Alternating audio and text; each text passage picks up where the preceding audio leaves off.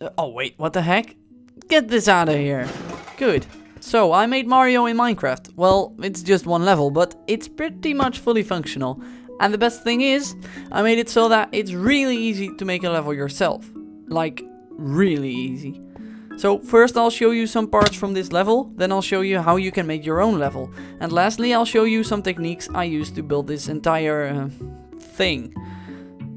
So yeah, everything works pretty much like in the original game. There are super mushrooms, Goombas, Starmans, green Koopa Troopas, coins in blocks, more coins in blocks, more coins in blocks. I even added this hidden life, which by the way doesn't do anything because there's only one level. And that's about it it's not that much. It's not that much at all. So of course it took me like, what, one day or so to make all of this? Anyway, I can see the look on your faces. You all want to make your own level. Well, let's go then. It is really easy. Just open your inventory. You'll see exactly what every block does. This one, for example. Just place it somewhere in the level and whenever the player hits the block, a super mushroom will appear. Then there are also scenery blocks. Just place them one block behind the level and you'll... Well, that doesn't really need an explanation, does it? And lastly, there's also stuff you can spawn. This Goomba, for example. Just stand anywhere in the level and place it underneath you. When you don't, you'll see that the entity isn't transparent. That means it isn't active yet. Just stand right inside the block and you'll see it becomes active. In order to remove them again, push it a bit so he will move and then just place this block. It's still there, but once you restart the game you'll see that he is indeed gone. To restart the game, just kill yourself. Uh, like in the game. Don't actually kill yourself, just type slash kill. There's one more thing you need to know. It's kinda hard to detect when one of these entities hits a block, so they'll just pass right through them. In order to prevent that, just place this block here and stand in it. And from now on, all the entities will move in the other direction when they touch that block.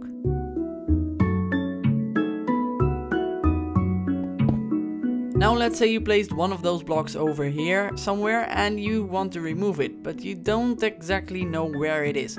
Just splash this potion saying see technical blocks and now you can see where it is and remove it using this block. And that's pretty much all you need to know. When you want to make a level yourself, you can download the template map in the description, as well as this level, as well as the resource pack. Because you may or may not have noticed it, but I am actually using a resource pack.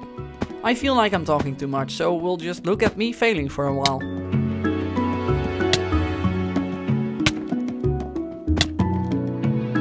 Good, now let's get to that part where I tell all kinds of complicated stuff and everybody be like, Oh my god, what is he talking about? Well, let's get started with the detection of the blocks. Of course, you can just use execute and test for block, but when you actually want to replace that block, you might get some trouble when the player is moving too fast. That's because you have to deal with this comparator, which has a short delay, so the set block command is powered a few ticks later. To fix that I used 5 wither skulls.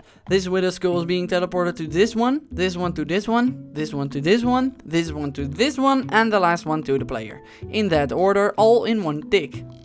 This way you basically get a trail of wither skulls. Those are all making the exact same movement except they're all moving one tick behind. So now you can execute the set block command on one of these skulls and then it should be working fine. Now about the entities, because what is actually going on over here? I don't know why I asked that question, because I made it myself, so why wouldn't I know what is going on?